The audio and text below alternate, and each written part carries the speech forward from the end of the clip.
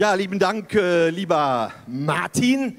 Wäre ich Annalena Baerbock und stünde hier vor diesem gefüllten Saal, ich habe mal durchgezählt, über 1000 Leute. Also ich habe die Beine gezählt und durch zwei geteilt und kam auf ungefähr 1300. Ich war das, der gerade hier unter den Tischen rüber, runterhergekrabbelt ist. Wäre ich Anna Baerbock und würde vor diesem prall gefüllten Saal stehen, ich würde sagen, I think I spider. Ich glaube, ich spinne. Liebe Freunde, toll, dass ihr hier zu Tausenden angereist seid, den Saal gefüllt habt für den Aschermittwoch hier in Osterhofen 2024.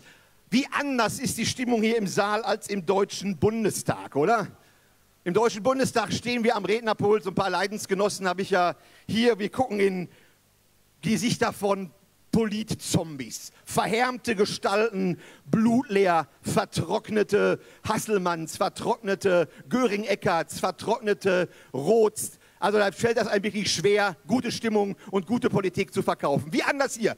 Optimistische Gesichter, gut gelaunte Männer und Frauen, aufmerksame Verfassungsschützer, aufmerksame Polizeibeamte. Das ist Bayern, wie es leib und lebt. Ich fühle mich sauwohl hier und freue mich und bedanke mich, dass ich eingeladen wurde zu dieser Veranstaltung.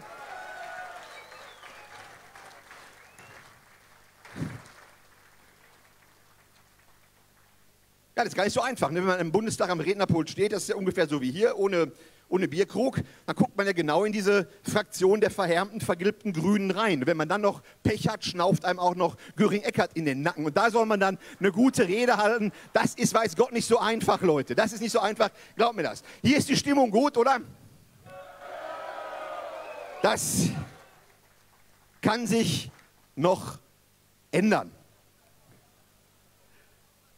Es haben Wessis geredet, es haben Ossis geredet, jetzt habt, ähm, habt, ihr einen Wossi hier oben, der auch gelegentlich mal ein Südi war. Der ein oder andere ist, dem einen oder anderen ist ja bekannt, dass meine Schwiegereltern hier sogar in der Nähe von Grafenau ihre Heimat gefunden haben und ich vier Jahre lang in Regensburg studiert habe, einer ehemals wunderschönen Stadt. Aber gerade am Beispiel Regensburg kann man sehen, wie schnell man eine wunderbare Stadt in die Scheiße reiten kann, wie schnell es möglich ist, mit buntem, hellbraunem Wokenunsinn eine Stadt quasi zu vernichten und bundesweit zum Gespött zu machen. Und Regensburg steht exemplarisch dafür, wie unser Land heruntergewirtschaftet wird von den Herrschenden in Berlin, von der hellbraunen Suppe, die uns jeden Tag mit einer unglücklichen Politik begeistert oder begeistern will, aber es wird natürlich nicht klappen. Also lasst Deutschland nicht Regensburg werden, so wie es zurzeit geworden ist. Das sollte ein Anspruch heute sein, liebe Freunde.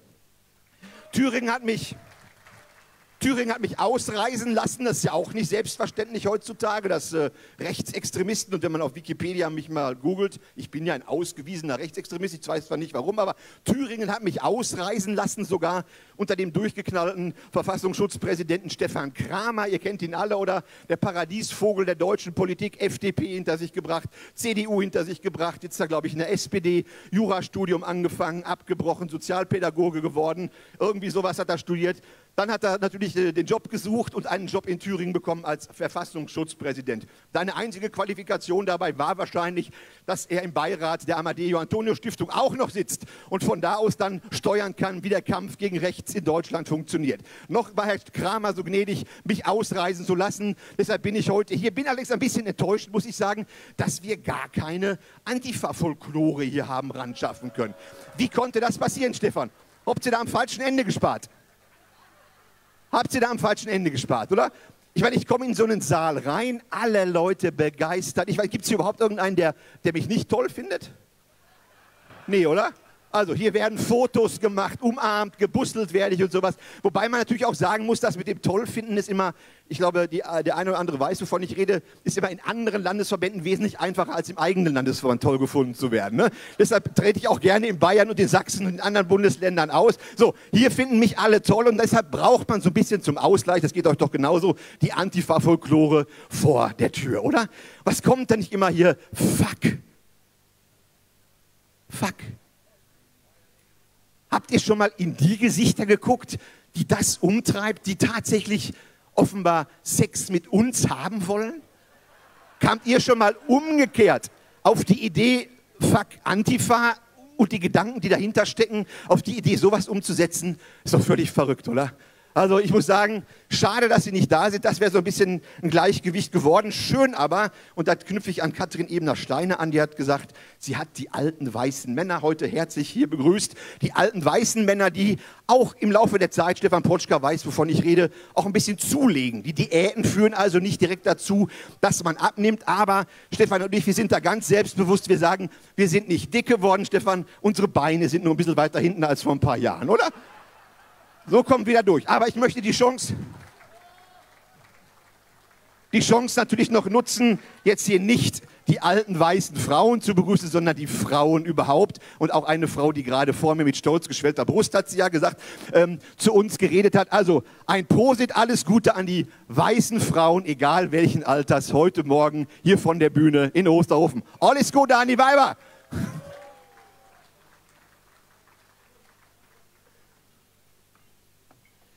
So, die Ampel muss weg.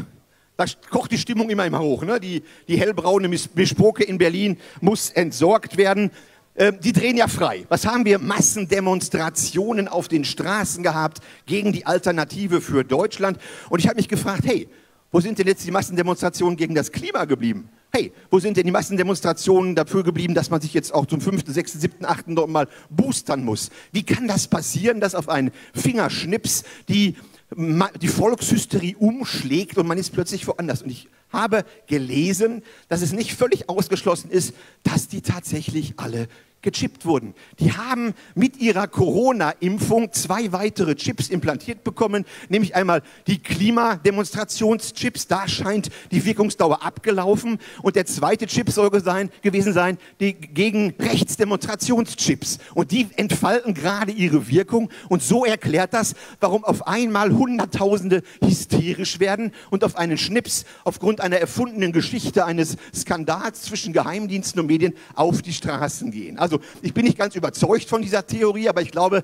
es steckt was dahinter. Anders ist es nicht zu verstehen, wie diese Massenhysterie in Deutschland aufgrund von Fake-Informationen aus dem Staatsfunk dazu führen kann, dass Hunderttausende auf die Straßen gehen und den größten Unsinn erzählen und nur das erzählen, was die Regierung will. Also das ist keine Demonstration, meine Damen und Herren, liebe Freunde, das ist eine Pervertierung des Demonstrationsrechts in Deutschland. Das Grundgesetz sieht vor, dass der Bürger, wenn er nicht einverstanden ist mit den Regierenden, geht der Bürger auf die Straße. So funktionieren Demokratien. Sie funktionieren nicht so, dass die Regierung dazu aufruft, gegen eine Opposition auf die Straße zu ziehen. Das ist eine perverse Art und Weise des Umgangs mit den Grundrechten in Deutschland, die wir so nicht akzeptieren können. Liebe Freunde, die Stimmung, die Stimmung ist gut.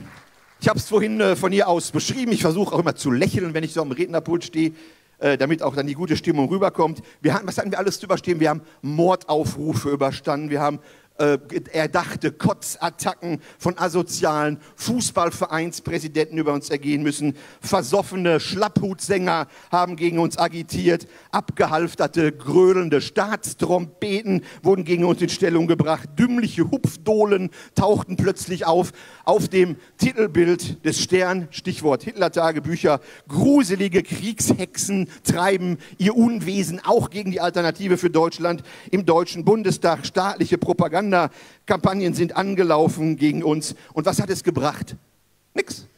Alles für die Katz aus deren Sicht. Schaut euch die Nachwahlen in Berlin an. Ich fordere von dieser Stelle aus, liebe Freunde, mehr, viel mehr Geld in den Kampf gegen rechts zu investieren, damit wir die 30 und 40 Prozent in diesem Jahr in Thüringen, in Sachsen und in Brandenburg knacken. Da ist es gut investiertes Geld. Je mehr im Geld, je mehr in, äh, investiert wird im Kampf gegen rechts, desto besser für uns, desto besser und desto stärker werden wir in den Parlamenten. Und warum ist das so? Warum ist das so? Die Leute haben, den, die haben die Schnauze voll. Die lassen sich nicht mehr verarschen von den Altparteien, vom Staatsfunk und Co., von einer linksgrünen Funktionärselite, die völlig abgehoben ist und sich und ihre Kamarilla in äh, Berlin und im Land in Saus und Braus leben lässt, während sie uns vorschreibt, Käfer und Ungeziefer zu essen fürs Klima.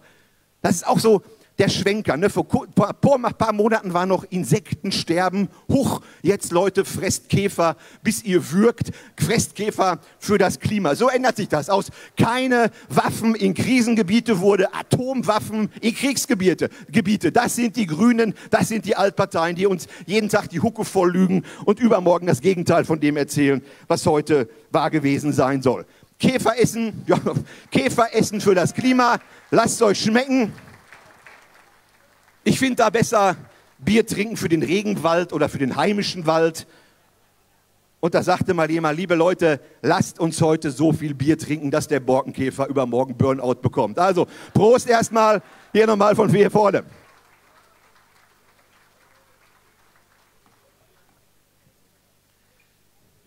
Wir sollen mit dem Lastenfahrrad fahren, wurde schon erwähnt. Flugverbote 15 Minuten statt, bloß dass wir uns nicht mehr wegbewegen können. Auf der anderen Seite haben wir hunderttausende Flugkilometer von Annalena Baerbock, die ja gesagt hat, nein, ich werde Linie fliegen, wenn ich Außenministerin. Drei Prozent ihrer Dienstreisen hat sie mit dem Linienflugzeug absolviert. Die Flugbereitschaft, liebe Freunde, ist von der ist zu einer Air Force One verkommen. Air Force One, Annalena Baerbock, wir wissen selber, 10.000 Euro im Monat alleine für die Frisur dieser Dame werden ausgegeben. Das sind ungefähr 350 Euro am Tag, so viel wie ein normaler Durchschnittsrentner wahrscheinlich im ganzen Monat nicht zur Verfügung hat. Diese Dame lässt sich auf Staatskosten frisieren und visagieren, 10.000 Euro im Monat, lässt sich durch die äh, Flugbereitschaft durch die Gegend kutschieren. Air Force One heißt ihr Düsenflieger, der jetzt hier unterwegs ist. Und wir sagen, nee, es doch einfach wie bei der AfD, liebe Freunde. Stellt doch einfach mal hübsche Politikerinnen auf. Das wäre doch auch mal ein Ansatz, oder? Um Friseur- und Visagistenkosten zu sparen, stellt doch mal hübsche Politikerinnen aus, da kann man Geld, spa Geld sparen und das ganze Geld, was dann so äh, übrig bleibt, könnte man ja zum Beispiel in einen Englischkurs für Annalena Baerbock investieren, dass sie Russland nicht aus Versehen den Krieg erklärt, und der Klassiker ist ja dann so, wenn man, wenn man sich so hört, I understand only train station. Kommt meistens so von ihr dann auch, ja? Ich meine, die ist ja die Blödheit auch ins Gesicht geschrieben, dass sie dann natürlich nur Bahnhof versteht für die nicht muttersprachlichen äh, Englisch äh, Sprechenden hier unter uns, ist natürlich dann selbstverständlich. Auf der anderen Seite können wir froh sein, dass Annalena Baerbock Außenministerin ist. Ich will mir gar nicht vorstellen, wie die Visagistenkosten wären, wenn da Frau Roth, Frau Göring-Eckert oder Ricarda Lang zu versorgen wären. Also auf der einen Seite, es geht immer noch ein bisschen schlimmer.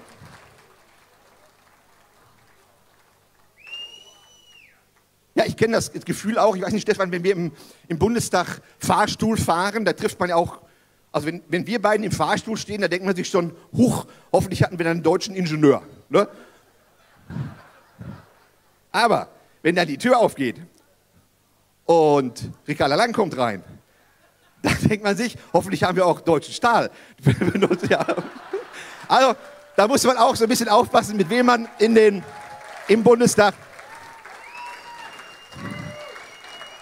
in den Fahrstuhl steigt. Wobei ich jetzt gar nicht weiß, hat die ihre Beine auch so weit hinten wie wir? Oder die hat immer so ein, so ein Kaftan, ähnliches Ding. Das kann ich jetzt nicht beurteilen.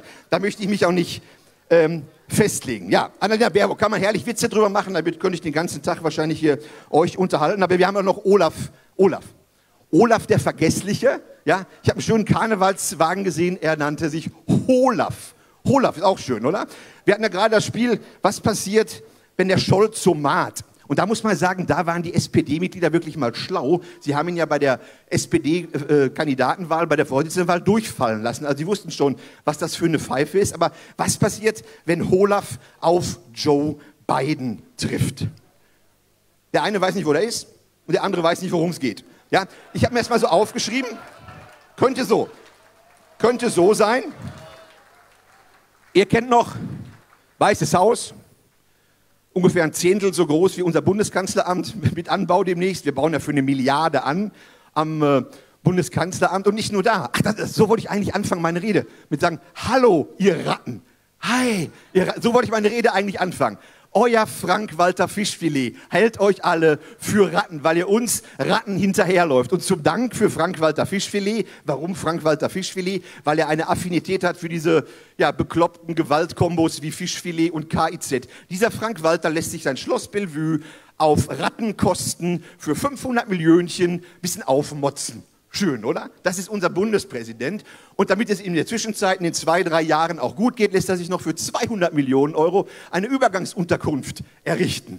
Oh, ich persönlich sage, liebe Freunde, und da bin ich nicht ganz im Einklang mit dem Grundsatzprogramm der AfD, wir brauchen keine Direktwahl des Bundespräsidenten, wir brauchen gar keinen Bundespräsidenten und schon gar nicht diesen, der zurzeit da im Schloss Bellevue logiert.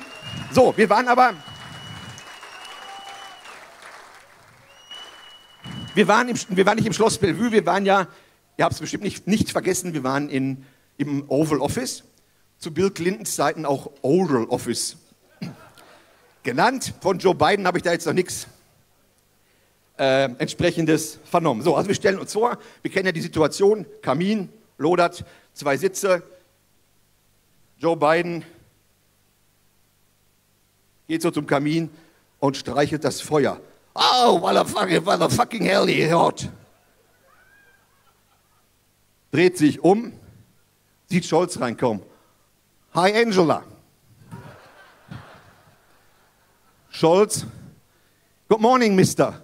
Nee, Melka. Hihi, hihi, hi. Helmut. Biden. Helmut. Can we now the city, can we really show me the doddle doddle the, the hell? Scholz, das habe ich vergessen. Biden. Yeah, François. It's not easy to handle the handle the silly. Habe ich mir alles aufgeschrieben. Scholz, ich bin nicht François. Ich bin, äh, habe ich vergessen.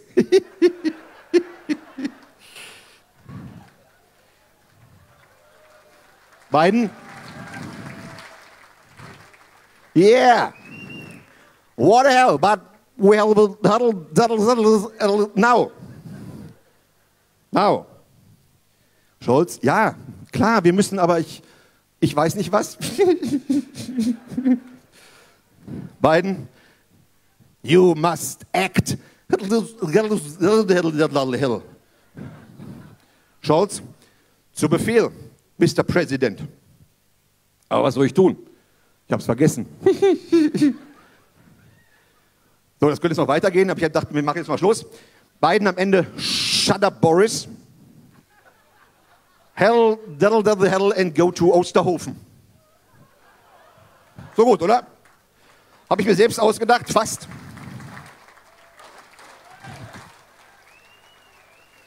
War gut? So, aus dem Oral Office wieder hier nach Osterhofen in unsere, in unsere schöne Halle. Liebe Freunde, wer so einen Kanzler hat, und ich habe das etwas überspitzt dargestellt, der eine oder andere hat es vielleicht gemerkt, ähm, braucht über die Minister, Minister, gar nicht zu reden. Ne? Über Baerbock habe ich schon geredet, Haken dran, der fliegende Robert, wäre auch nochmal so ein Thema, vielleicht gehen meine Nachfolger darauf ein. Karl Lauterbach, lieber wäre uns da alle ein stiller See als ein lauter Bach, ein Karl Lauterbach, der, wenn wir, das war Karl Lauer, ja. Der, wenn wir, in Bayern, wenn wir nicht in Bayern wären, würde ich ihn, glaube ich, Karlolf nennen. Aber genauso wie Södolf, darf man ja nicht sagen, habe ich mir sagen lassen, Stefan, oder? Ist, also deshalb sage ich es auch nicht. Ich denke das nur laut. Sage ich jetzt auch nicht Karlolf zu Lauterbach, aber das ist ja die, die personifizierte Befangenheit, wenn es um den Inhalt von Gesetzen geht. Wer würde bei Karl Lauterbach nicht sofort daran denken, Mensch, der muss Cannabis legalisieren? Oder? Und das hat er jetzt auch getan. Cannabis wird legalisiert. Das hat wahrscheinlich so ein bisschen Eigennutz. Und auf der anderen Seite auch der Grund, äh, dass man die Politik der Hellbrauni Berlin vielleicht dann ein bisschen besser so, hm, ein bisschen angedüdelt ähm, verstehen kann. Und da muss man sagen, das ist ähm, so ein bisschen wie Brot und Spiele. Ne?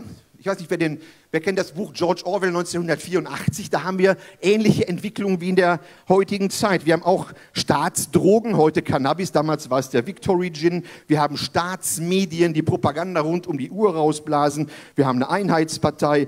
Wir haben eine abgehobene Funktionärselite, wir haben Geschichtsverfälschung, wir haben Kriegsrhetorik, politischen Kindesmissbrauch. Alles das findet man im Buch 1984 und auch die Negierung von Fakten. Zwei plus zwei gleich fünf. Wenn die Partei das sagt, dann ist das so. Man muss es nicht nur so glauben, dann ist das so. Genau wie heute uns klargemacht wird, es gibt nicht zwei Geschlechter, sondern irgendwas zwischen zwei und acht Milliarden 8 Milliarden, ihr habt richtig gehört, bei einer Diskussion mit einem schwulen Vertreter sagte der, also es gibt so viele Geschlechter, wie es Menschen gibt. So, und da ist ja auch schon jede Liste so ein bisschen überfordert, wenn ich dann Reißverschlusssystem oder so machen will. Ne? Aber wir nehmen es mal hin. Also wir haben nicht zwei Geschlechter, wir haben irgendwas so um die 125, wobei sich mir nicht erschließt, bei zwei Geschlechtern erschließt sich mir das.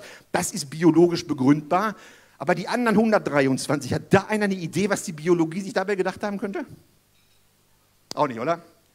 Also das überfordert sogar uns. Deshalb rufen wir den Altparteien zu, euer Gender-Scheiß interessiert in Deutschland keine Sau. Bei uns gibt es nur Jungs und Mädels, Mann und Frau. Jawohl. Musste ich mir auch aufschreiben.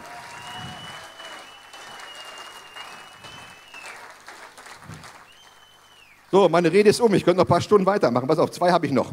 Die katholischen Ostbischöfe oder die Ostbischöfe, ja, jedenfalls die Bischöfe, die im Osten katholisch sind. Die haben so eine Denkschrift verfasst gegen die AfD. Gedöns und alles rechts, kennt ihr alles. Aber dann hat mich aufmerksam werden lassen der Herr Neimeyer aus Erfurt. Das war der Bischof, der das Licht ausgemacht hat, wenn wir da demonstriert haben wo dieses legendäre epische Foto entstanden ist mit der schönen Beleuchtung durch die Handys. So, der hat gesagt, unter anderem, wer Fakten wie den menschengemachten Klimawandel ähm, leugnet, ist mit der Verfassung irgendwie unvereinbar. Da sage ich mir, der katholische Bischof, dieser Faktenfuchs, warum erklärt er mir nicht mal die Jungfrauengeburt im Detail, wie das abgelaufen sein soll?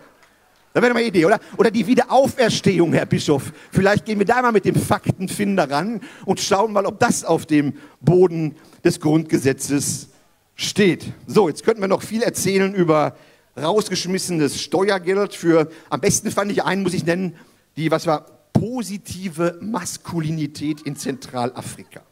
Die ist uns viel Geld wert. Da sage ich, da braucht ihr nicht nach Zentralafrika zu fahren, kommt nach Osterhofen hier in unsere Halle rein. Hier ist positive Maskulinität ohne Ende und der positivste Maskuline sitzt da unten mit Max K., der gleich noch zu ihr reden wird. Da braucht ihr keinen einzigen Euro zusätzlich rauszuschmeißen. Das geht ohne Entwicklungshilfe, zumindest bei Maximilian Krah. So, letzte Seite. Hell, Dell, Daddle, Well, Hell. Ladies and gentlemen. So.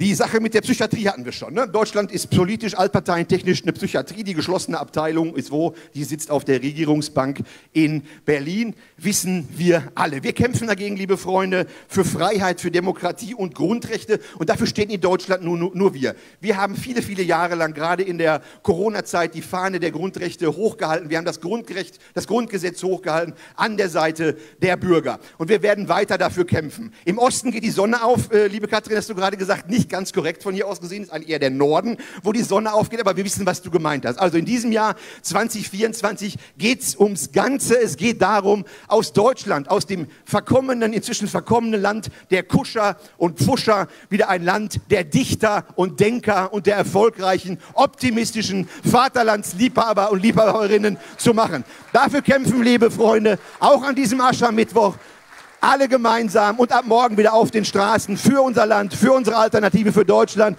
Ich bedanke mich nass geschwitzt hier auf der Bühne für eure Aufmerksamkeit und freue mich auf den nächsten Redner. Vielen Dank.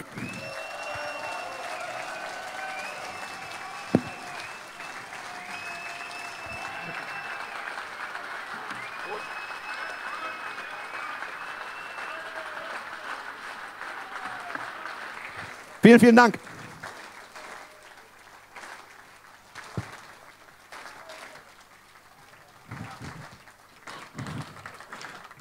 Einen habe ich noch.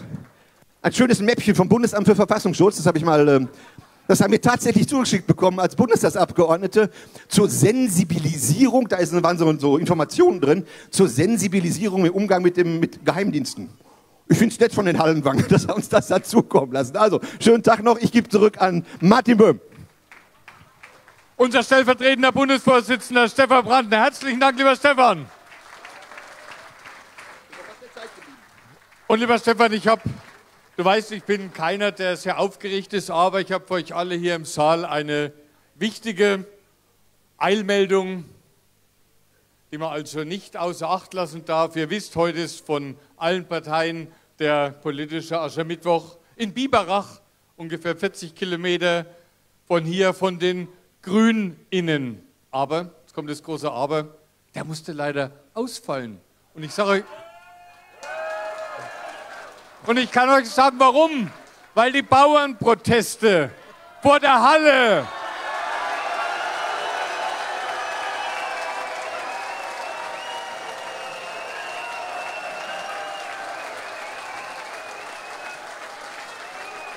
weil die Bauernproteste vor der Halle dieser Verbotspartei so groß waren, dass die Polizei gegen unsere Landwirte Pfefferspray einsetzen musste. Respekt vor diesen Bauern! So klingt Politik von unten, so klingt Politik vom Volk. Die Bauern sind nicht mehr bereit, sich diese grüne Verbotspolitik gefallen zu lassen. Wir stehen hinter unseren Landwirten. Musik, liebe Freunde.